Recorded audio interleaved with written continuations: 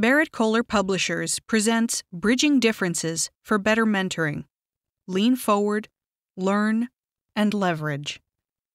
Written by Lisa Z. Fain and Lois J. Zachary. Narrated by Natalie Hoyt. Foreword. We have known about the importance of mentoring for developing people and organizations for several decades. Organizations are more frequently turning to mentoring as a solution for a range of their needs, from early socialization to talent management to leadership development. Despite acknowledging the power of mentoring, few organizations have successfully leveraged it as part of their overall strategy. Many individuals report not having access to the benefits of mentoring, and this lack of access is especially true for women and people of color. There is also an ongoing debate over the value of formal mentoring, with many arguing that it is less effective than informal, self determined types of mentoring. Thus, despite its popularity, organization sponsored mentoring often lacks inclusion leaving out those individuals who should benefit the most from these powerful developmental relationships. My own research and work with organizations over the past three decades has focused on the importance of mentoring as not only a tool for developing people and organizations, but also a transformational process for creating understanding, strengthening relationships, and sharing knowledge among diverse groups of people and cultures. This work has convinced me that there is no more powerful tool than mentoring to unleash the power of diversity and inclusion in ways that benefit people and organizations. Thus, it was a pleasure and honor to read this unique work and offer my insights and perspective.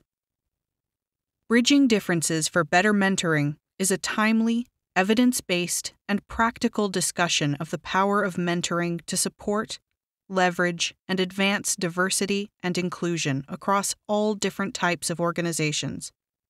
Lisa Fain and Lois Zachary leverage their combined research and practical knowledge with hundreds of mentors and mentees to provide insight into how we can better utilize mentoring as a transformational tool for individuals and organizational leaders.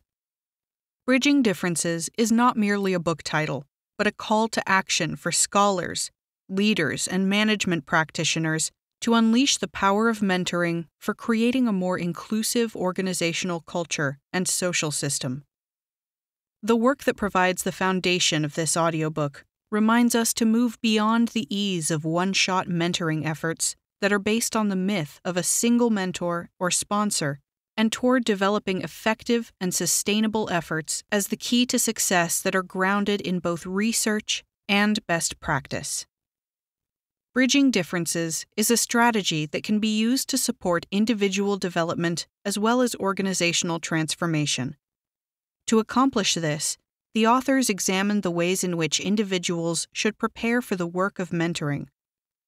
This audiobook is organized into three parts lean forward into differences, learn from differences, and leverage differences. Each section includes knowledge that the authors have gained from organizational practice, individual coaching, and research on mentoring. Each section of the book gave me valuable insight into three keys to unlocking the power of mentoring as a tool for diversity and inclusion purpose, process, and participation. In Part 1, Lean Forward into Differences, the authors signal that we need to prepare ourselves for the work of mentoring. They remind us that we must first focus on the purpose for mentoring to cultivate meaningful relationships. Although this may seem obvious and perhaps easy, it becomes more complicated as individuals attempt to build relationships across differences. Through their mentoring framework, the authors challenge us to not simply accept differences, but to actually see them, acknowledge them, and understand how these differences impact our mentoring relationships. This means building our knowledge around culture and identity, especially for those whose experiences are vastly different from our own. It also means developing the capacity to face barriers that interfere with the purpose of mentoring, such as all forms of bias and privilege. The model presented by the authors prompts us to understand the link between mentoring purpose and the specific mentoring tool or program that can best fit the needs of the organization, team, or workplace culture. Too often, we think of mentoring in a homogenous fashion that takes the power out of the diversity of mentoring structures, types, functions, and methods we have at our disposal.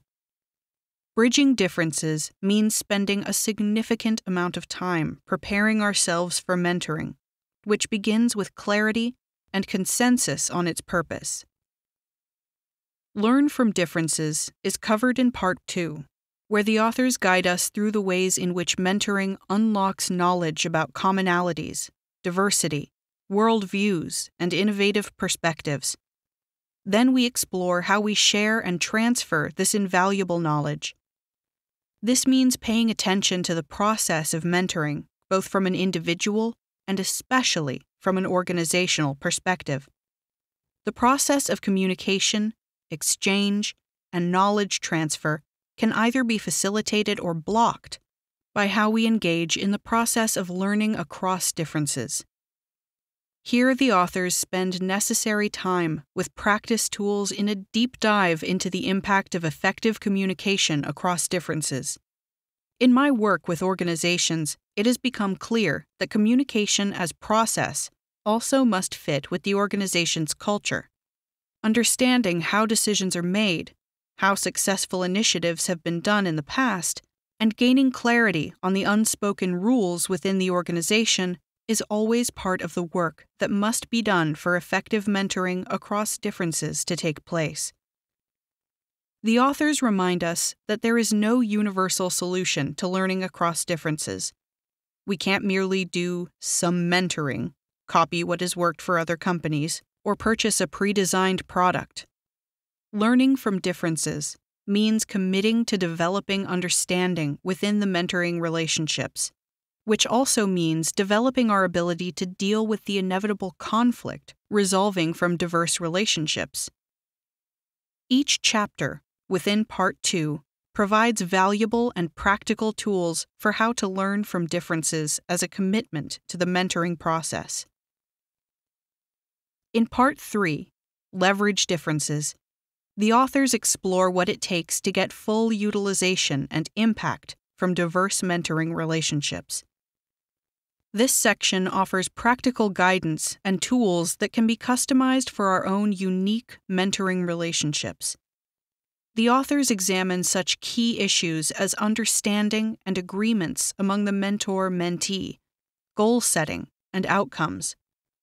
These practical tools remind us that effective mentoring across differences requires that we put forth effort to ensure that there is mutual participation Perhaps this is where some formal programs lose their impact.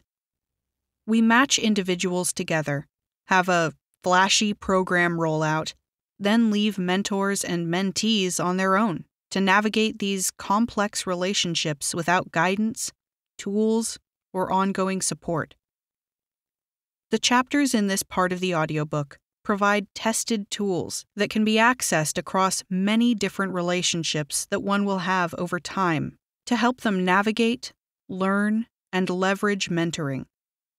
I found the Space for Reflection, case studies of mentoring pairs, and Your Turn exercises to be essential tools in helping to develop and maintain meaningful mentoring relationships across differences that can be used repeatedly across time and experience. These practical tools remind us that participation is the essential building block of meaningful, diverse mentoring relationships and requires our knowledgeable engagement. I learned many valuable lessons from reading this work by Fain and Zachary. The authors reminded me that mentoring is most effective when individuals and organizations make a total commitment that moves beyond merely discussing diversity and toward bridging differences. This means taking advantage of the practical knowledge and tools they have provided to develop a personal portfolio of tools and strategies that can build and sustain meaningful mentoring relationships, promote collaboration across differences, and link mentoring to such core values as diversity and inclusion. The valuable lesson I learned is that mentoring is most effective when there is also a total commitment to both mentoring and diversity. There is no quick fix, single design, or magic technology for mentoring to be effective. However, Fain and Zachary have provided an evidence based set of tools, techniques, and approaches to assist with the vital work of mentoring as we build bridges across our differences. Audrey J. Murrell, PhD, Acting Dean, University Honors College, Professor of Business Administration, Psychology, Public and International Affairs, University of Pittsburgh. Preface Welcome. You are about to begin an exciting and eye opening process during which you will explore your own cultural lens, recognize the myriad of differences you and your mentoring partner bring to the table, and build skills you can use to bridge differences in your mentoring relationships. Bridging Differences builds on co author Lois Zachary's mentoring philosophy and four phase mentoring model, and draws from many of her other mentoring publications. Although she has devoted sections of each of her books to understanding differences, especially in The Mentor's Guide, none have explored the topic of cultural competency and mentoring in depth. Co author Lisa Fain brings her expertise in coaching and cultural competency and her passion for creating inclusive work environments to her role as CEO of the Center for Mentoring Excellence. Her work focuses on assisting companies to create more inclusive workplaces through mentoring by helping leaders to become more aware of their own cultural framework, to show up authentically, and to lead diverse teams that achieve better results. Bridging Differences for Better Mentoring represents a marriage of the author's shared passions for mentoring and diversity and inclusion. It especially reflects our experiences with the hundreds of mentors and mentees and multinational clients we work with at the Center for Mentoring Excellence. This audiobook is for you. This audiobook is, of course, for mentors and mentees both novices and experts. It is also for learning and development professionals and anyone involved in leading, supervising, or managing the mentoring and diversity process in an organization. We have designed the examples and framework to stimulate your thinking about mentoring relationships and to encourage you to reflect deeply on your experiences. In addition, we've included a variety of practical tips and suggestions to promote more culturally aware engagement, cultural competency, and authenticity, all essential for supporting positive, productive partnerships and better mentoring. If you are a mentoring program manager, a diversity and inclusion leader, a learning professional, or an organizational leader or talent manager, we invite you to use this audiobook as a guide to grow your leader's cultural competency and elevate their mentoring practice you will be better positioned to assist professionals engaged in mentoring management, coaching, troubleshooting, and developing internal communications about the mentoring program. Ultimately, regardless of your position in the organization, your understanding of cultural competency will benefit everyone. Learning how to communicate across differences will help you and your organization create a more inclusive workplace environment bridge the gap between and among cultures, create cultural change, and make the most of your organization's investment in mentoring. How to use this audiobook. Above all, begin at the beginning. As tempting as it may be to skip over things you think you already know about yourself, we have found that there are no shortcuts to building bridges for better mentoring. The chapters in this audiobook are divided into three primary sections. Part 1 Lean Forward into Differences. This section is about preparing yourself for mentoring. These chapters are designed to help you understand cultural competency and increase self understanding and skill at seeing differences. The exercises included in this section will help you increase your self awareness and prepare you to recognize, acknowledge, and bridge differences in your mentoring relationship. Part 2 Learn from differences.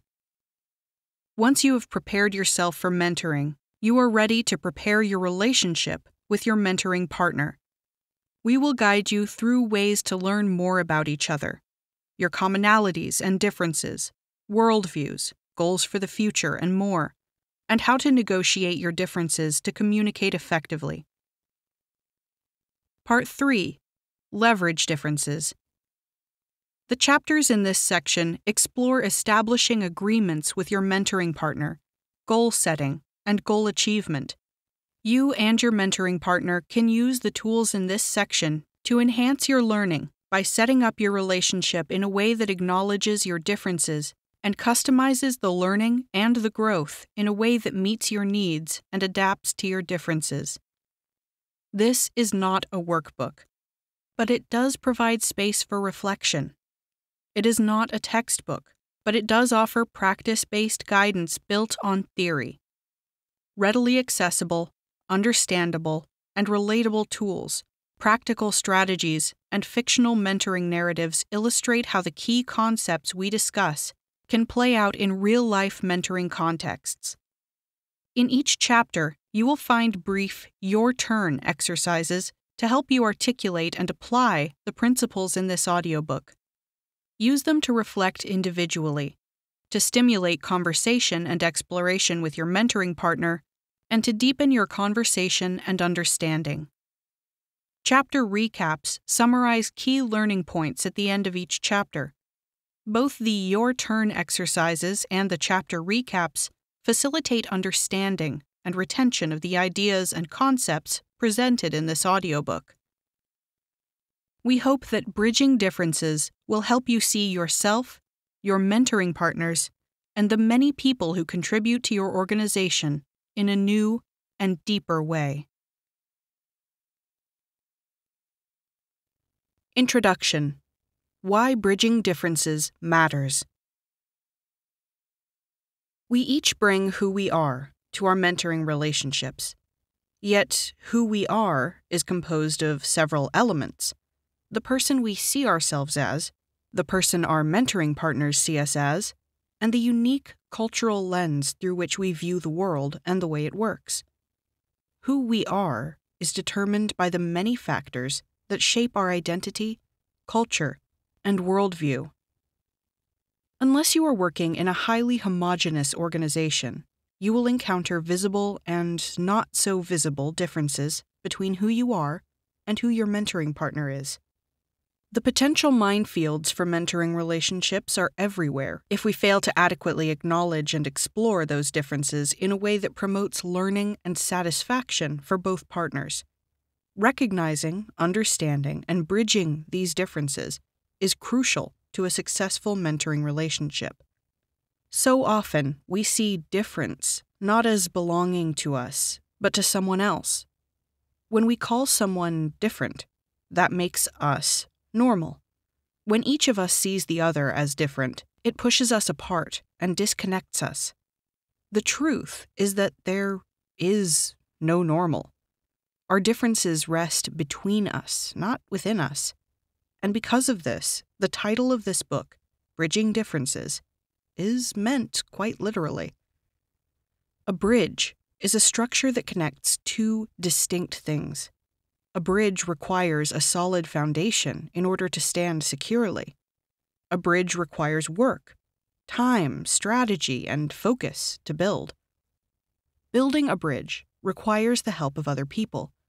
It is an active process involving connections, bonding, and collaboration. Working together, we build a newer and richer mutual understanding. When we don't understand the need to bridge the differences between us, we miss out on the richness those differences can bring to our relationships, and we significantly limit the impact of our mentoring. What's more, if we don't take the time to build the skills needed to bridge these differences, we create conflict and misunderstanding, widening gaps instead of narrowing them. When we understand how to bridge differences, our mentoring relationships are better, our outcomes are better, and our organizations benefit from the differences between us. This benefit is clear, and it has caught the attention of growing numbers of employers. Increasingly, organizations are redefining mentorship to advance diversity and inclusion, and for good reason. Diversity increases successful outcomes and grows the bottom line. According to a recent article in the Wall Street Journal, organizations with inclusive cultures are six times more likely to be innovative and agile, eight times more likely to achieve better business outcomes, and twice as likely to meet or exceed financial targets. Organizations with inclusive cultures actively pursue cultural competency, the skill that enables effective understanding and communication across the differences inherent in a diverse group of people. When cultural competency informs mentoring, learning is elevated, engagement and communication are enhanced, achievement of learning goals is accelerated, and relationships deepen. Whether you are a mentor or a mentee, bridging the differences between you and your partner, leaning forward into difference, learning from it, and leveraging it allows you both to experience the promise and full potential of mentoring. Part 1 Lean Forward into Differences. Meet Mia and Christopher. At age 35, Mia had been an associate at Farmer French and Fowler LLP, F3, for five years. As far as Mia was concerned, her becoming partner couldn't happen fast enough. After graduating magna cum laude from college, she had worked as an executive recruiter for four years to save as much money as she could before applying to law school. She excelled in law school and fielded offers from top law firms across the country. Of all the law firms she interviewed with, F3 offered the best opportunity to build a labor and employment or L&E practice. Its L&E practice was indisputably among the best in the United States. She was excited by the chance to work with top-tier clients as well as the possibility that she could work in any of the firm's 23 offices around the globe. Mia had spirit and drive and boundless enthusiasm. She had success written all over her. She knew it, and everyone around her knew it, including Christopher, her mentor. Mia was grateful that she had been assigned Christopher, a highly respected senior partner with a large book of business, and was looking forward to working with him. She was counting on him to help her shape her career and figure out what she needed to do to position herself to become an F3 partner when she became eligible in a few years. Christopher grew up in Amsterdam, in the Netherlands, and had a short but successful career in international business before moving to New York in his early 30s.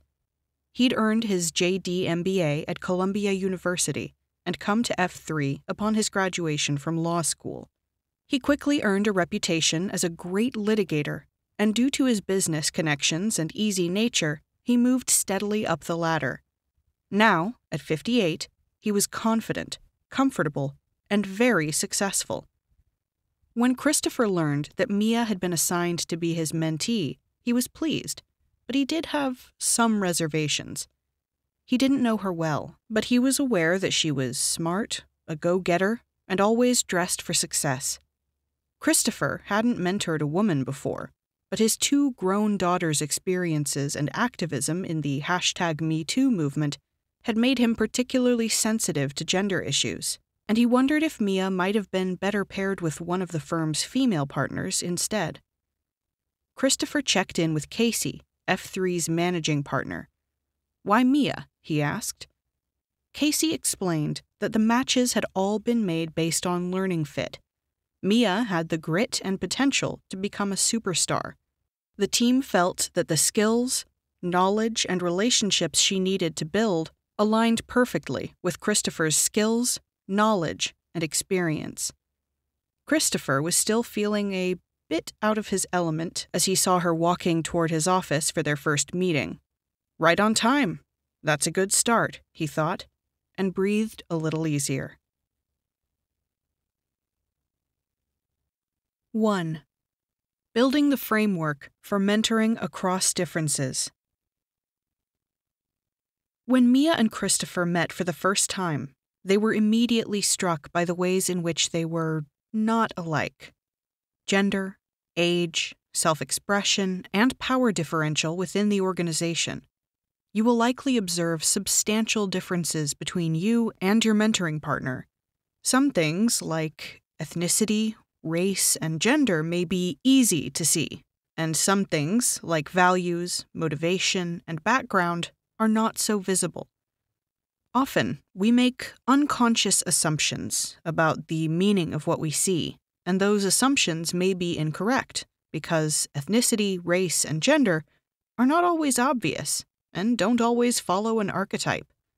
Nonetheless, each element of identity and the assumptions that we make about them affect how we view the world and how we view our mentoring partner. When mentoring partners focus too much on differences, or when they can't relate across the differences, the result is fragmentation and judgment. Although it is tempting and perhaps more comfortable to focus on what we have in common with someone else, this can discourage authenticity, exclude the things you may learn if you pay attention to differences, and lead to other problems. The first question most people ask themselves when seeking to connect with a new person is What do we have in common? In general, people connect based on commonality, which can give ground to build relationships. But when we are so focused on commonality, differences are ignored, or even judged. Unconsciously, we create groupthink, and those who do not share the group's commonalities feel devalued excluded and discouraged from sharing differing ideas and opinions. Often, those of us who are excluding, however inadvertently, have no idea this is happening. A multiplicity of factors make up our identity, shape the way we look at things, and impact our actions and our behavior. In mentoring, and in life in general, the idea is not to accentuate, avoid, or judge the ways we are different from one another, but to honor those differences by balancing commonalities and differences.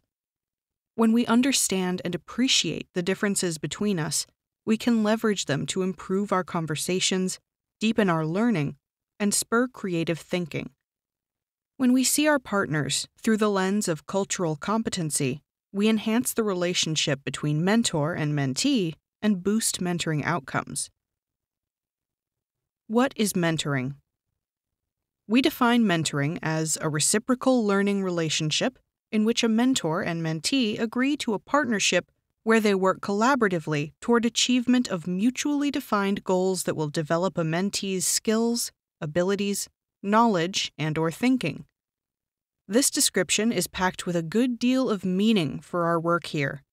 We focus on four key concepts that relate most closely to bridging difference in a mentoring relationship reciprocal, learning, relationship, and partnership.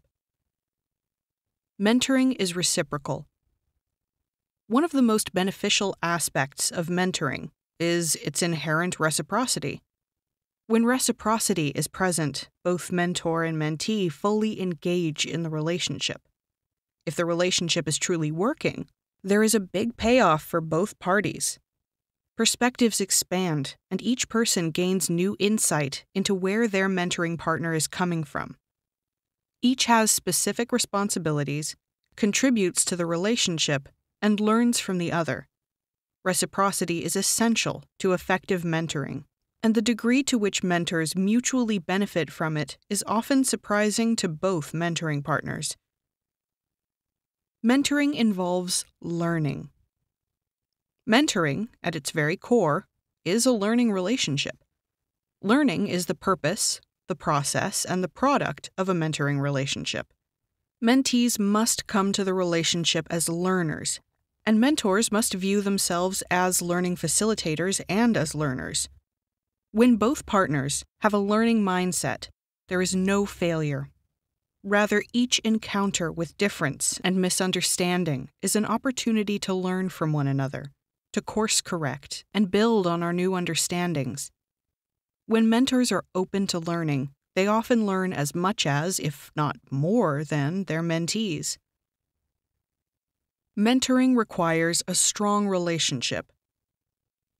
Effective mentoring requires a strong relationship between mentoring partners. From the very start, mentor and mentee must begin to build a relationship that is open and trusting, and to honor each other's uniqueness. This doesn't happen overnight. Give your relationship time to develop and grow. It is the mentor's responsibility to create a safe and trusting space that enables a mentee to stretch and step outside their comfort zone, take risks, and show up authentically.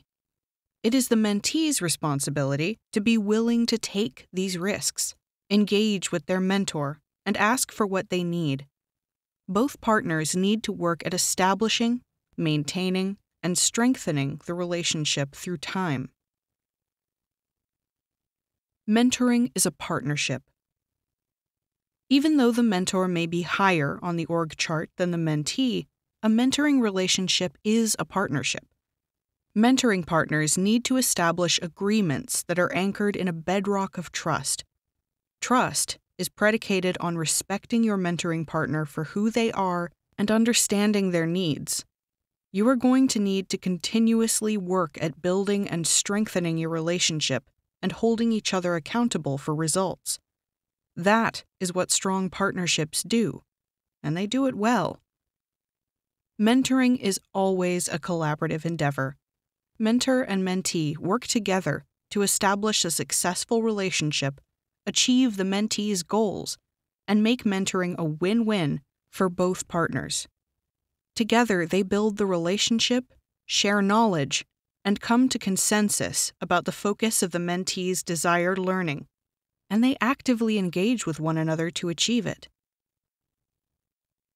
The mentoring cycle. Mentoring relationships travel through a predictable four phase cycle, each building on the one before it to create a fluid developmental sequence preparing, negotiating, enabling growth, and coming to closure. Being able to anticipate each phase, knowing where you are in the process, and understanding what each phase offers in terms of learning and growing with your mentoring partner makes your work together more productive and builds a strong foundation for your partnership to succeed. This mentoring framework, which Lois presented in the Mentor's Guide, combines good mentoring practice with what we know about how adults learn best. The four phases of the mentoring cycle are preparing, getting ready, negotiating, establishing agreements, enabling growth, facilitating learning, and coming to closure, looking back, moving forward. We refer to these phases throughout this audiobook. There is no set time for getting through this cycle. The length of each phase varies depending on the mentoring relationship. The phases are fluid. Mentoring partners sometimes need to revisit an earlier phase in the cycle in order to move forward. In this chapter, we follow Christopher and Mia's journey as they begin phase one of their mentoring partnership. In the hundreds of conversations we've held with mentors and mentees, we've found that successful partnerships, those that can point to significant learning or progress, take care to follow these phases often revisiting steps as needs and goals change. Positive movement through each phase rests on successful completion of specific behaviors and processes. Have faith in the process and be patient. Phase 1 Preparing. Preparing has two parts preparing yourself as mentor or mentee, and then preparing the relationship. Preparing yourself is critical, yet it is frequently overlooked. Most folks just step into mentoring and gear up when they first meet their mentoring partner. Maybe they look over their partner's CV and get some background info about the person. But just as you might get your thoughts together before making a presentation, the better way to mentor is to prepare yourself before you engage in your mentoring relationship. The second part of preparing, preparing the relationship, focuses on the kickoff conversation you engage in with your mentoring partner. Mia and Christopher, whom you met earlier, are just embarking on their mentoring relationship. They haven't scratched the surface of it yet, let alone begun to bridge differences. What you heard in the mentoring story before this chapter represents everything Mia and Christopher know about each other, and it's the tip of the iceberg gender, level of professional experience, job title, and age. What they do not yet know still lies beneath the surface their unique motivations and expectations. They have work to do to get to know each other beyond what they see at first glance, and this work will lay the foundation for a trusting relationship that encourages authenticity. Both Christopher and Mia need to explore and discover the other person as an individual. What do they care about? What motivates them? What is their view of work and authority? What has their personal journey been? The purpose of this phase is to work toward creating a fuller understanding about who your mentoring partner is. What makes up the who of this unique individual? Getting to know another person and reaching a deeper level of understanding doesn't happen in one meeting. It is a process that unfolds gradually and relies on a high degree of trust that takes time to build. With trust comes increased comfort. The more comfortable one is, the more open one can be. The more open one can be, the more authentic the conversation. The more authentic mentors and mentees are with each other, the deeper and more effective the learning. Mia and Christopher's first meeting was typical of many relationships.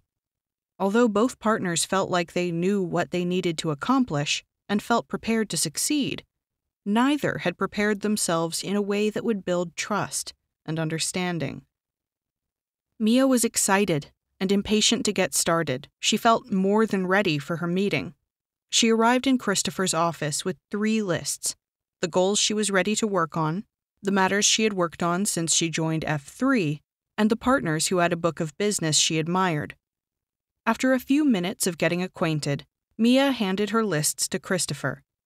This is what I want to work on, she said. What's my next best step? Christopher was taken aback.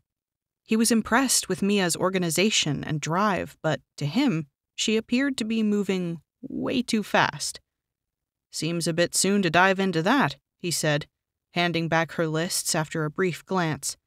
I need to understand more about you and how you work best. Christopher smiled at Mia, but he felt like a tornado had just burst through his door. Disappointed and annoyed, Mia took back her papers. She was too busy for this.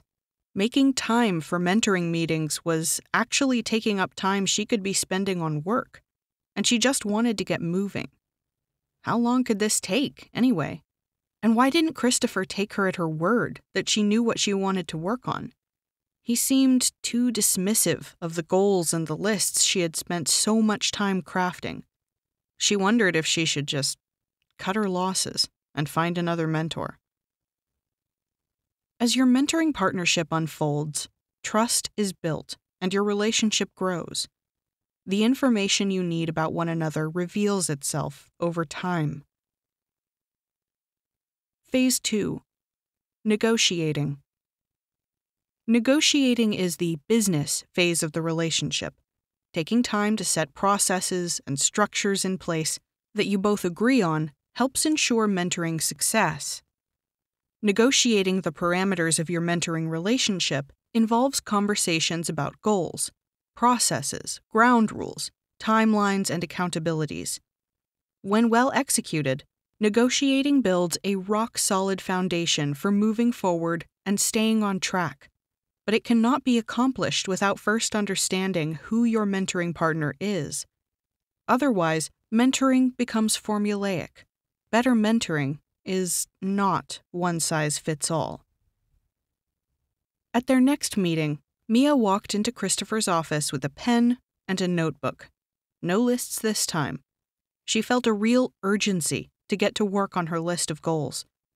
Though she was still annoyed about their last meeting, she was also pragmatic. This was a great opportunity for her to connect with an influential colleague who probably did have something to teach her. She didn't want to alienate Christopher, so she decided to try his approach. Christopher was ready for another onslaught when Mia walked in, but he was delighted to see Mia's notebook and no lists. She seemed ready to listen. So, after some small talk, he began. Let's set some ground rules, he said. Mia sighed to herself. She was ready to work. Why did he want to drag this on? I'd better buckle up, she thought. This is going to be a long ride. Phase 3 Enabling Growth. Phase 3, Enabling Growth, is the longest phase of the mentoring relationship.